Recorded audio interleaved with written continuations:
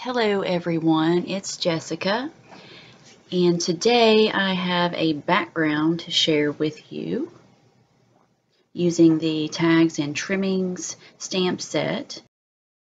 And if you have not heard, Stampin' Up! is offering free shipping today only, the 27th Monday on your Stampin' Up! order. So um, it's a good deal that you might want to take advantage of. This one is my favorite stamp set from the holiday catalog, the tags and trimmings, and of course everything will be linked in the description. Um, here I use Tranquil Tide and Lemon Lime Twist. Yeah, so I just had to use the little dot stamp, and I love those holly leaves and the buttons. Those can be used any time of the year and um, so can the enjoy stamp. So this is a really good stamp set.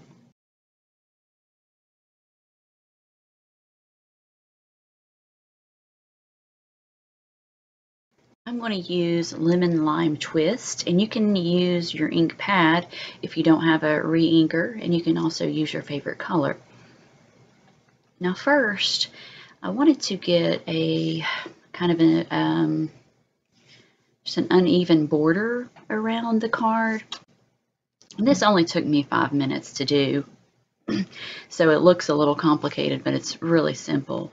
Um, I'm using this little ruler that I've had forever. I don't think you can buy it, but you can get um, a similar product.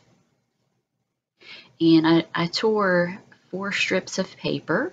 Now I'm applying the Tombow glue and um, this glue, if you um, apply it to paper, it becomes like a mask glue and it's repositionable. And um, so you can use it as a mask. I don't have any other masking products. So anytime I need a mask, I use this Tombow glue. And so far it's worked um, perfectly for all my needs. Now I'm applying the ink. I just um, put some of the re-inker in the little tray there. And um, I'm just applying the ink to the paper. And I'm using regular cardstock. I think it's 110 pound. So I'm not using watercolor paper. And I want a gradient effect. So I'm making the edges darker than in the middle and you just keep playing around with it until it looks like um, how you want it and I also took some ink and splashed on some ink splatters. And then I, you'll want, before you do the ink splattering, you will want to let that paper dry. Otherwise the ink will bleed out everywhere. I'm also using lemon lime twist to stamp the image and you'll want to ink that stamp up really good and press down firmly for about three seconds and let that ink um, soak into the paper. And um, there were there I did get ink on the edge of the rubber, um, but it did not stamp off onto the paper. So it wasn't a problem with this stamp, but sometimes the stamps will, you'll get those unsightly lines from um, the edges of the stamps, but this stamp um, did not do that. And there is the finished background. And um, I really like this look. It's kind of that um, gorgeous grunge look. And you can see the edging there too.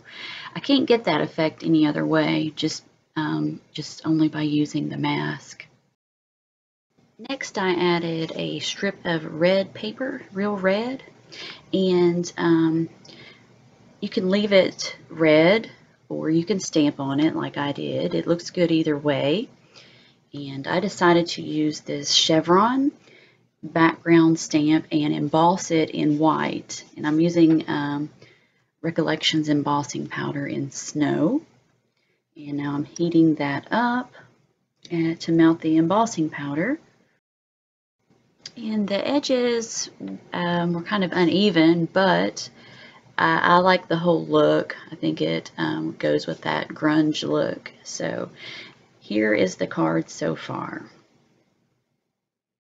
I've got my big shot here and I'm using the wonky stitched rectangle dies. That's not from Stampin' Up, but um, I like the I like the look and I use them a lot. And I didn't show that. That snowflake is from the um, Trim Your Stocking thinlets.